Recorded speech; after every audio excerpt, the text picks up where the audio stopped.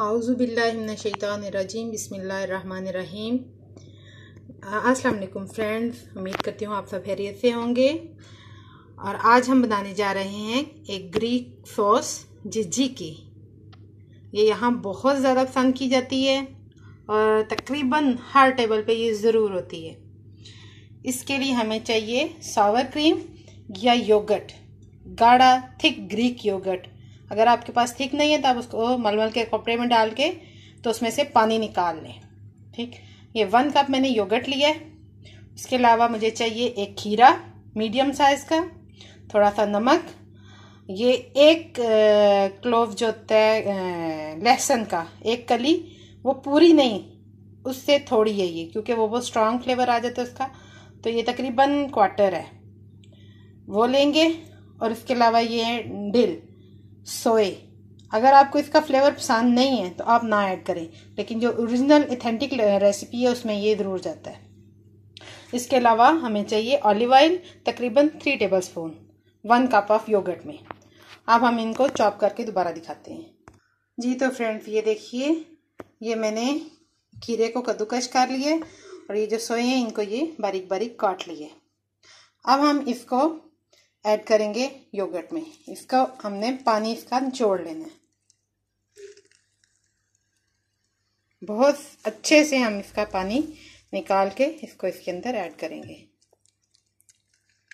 इसके अंदर पानी नहीं जाना चाहिए, वरना ये बहुत ज़्यादा रनी हो जाएगा, बहुत पतला हो जाएगा।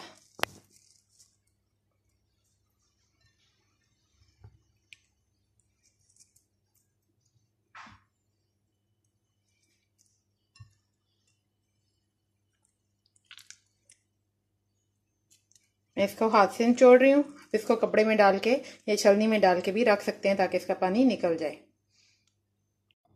जी तो फ्रेंड्स अभी मैं इसमें ऐड कर रही हूँ थोड़ा सा नमक अकॉर्डिंग टू योर टेस्ट ये गार्लिक और थोड़ा सा ऑलिव ऑयल तकरीबन थ्री टेबल स्पून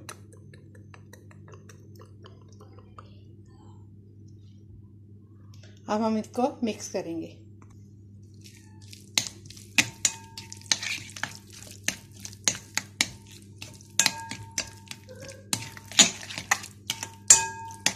बहुत ही मज़े की ये दिल की खुशबू आ रही है। जी तो ये बहुत अच्छे से मिक्स हो गया अब इधर आप इसमें नमक और गार्लिक चेक कर सकते हैं कि बहुत ज़्यादा स्ट्रांग तो नहीं है गार्लिक पहले आपने कम डालना है, अगर नॉर्म लाइट है तो थोड़ा सा और ऐड कर लें। और सॉल्ट का भी ये हिसाब है, आप अपनी मर्ज़ी से चेक कर सकते हैं। जी तो ये हमारी जीजी की सर सॉस रेडी है। आप इसको ट्राई करें, आपको बहुत पसंद आएगी। इसके लिए एक टी पैक अगर आपका योगर्ट मतलब दही, खट्टा नहीं है तो थोड़ा सा इसमें आप लेमन जूस ऐड कर लें हाफ़ टी स्पून के करीब। वन कप में। थोड़ा सा ऐड कर लेंगे तो आपका योगर्ट जो है वो खट्टा हो जाएगा। उम्मीद करती हूँ आपको पसंद आया होगा। आप इसको ज़रूर ट्राई करेंगे और अल्लाह ताला आप आप लोगों की सेहत में, औलाद में बरकत डाले, आपके कारोबार में बरकत डाले।